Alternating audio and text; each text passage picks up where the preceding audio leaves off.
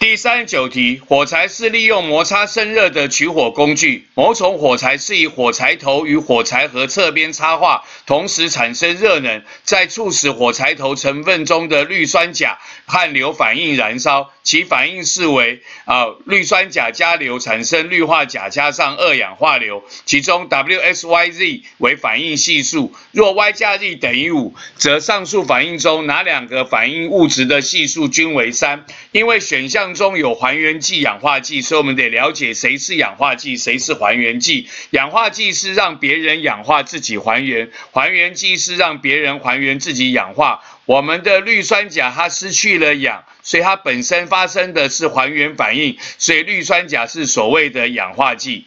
那么我们的硫得到了氧，变成二氧化硫，它发生氧化反应，所以硫是所谓的还原剂。然后接下来我们要平衡化学反应方程式，我们的氯酸钾加上硫会产生氯化钾加上二氧化硫。这个氧呢，这边一个二，这里个三，最小公倍数是六，所以这里要放二，这里要放三。然后呢，这边就有两个甲，所以这里要放二。那么两个甲地方就有两个甲，两个氯，跟这里是一样的。那这边有三个硫，所以这边要三。那么这个就是这个就是我的 Y。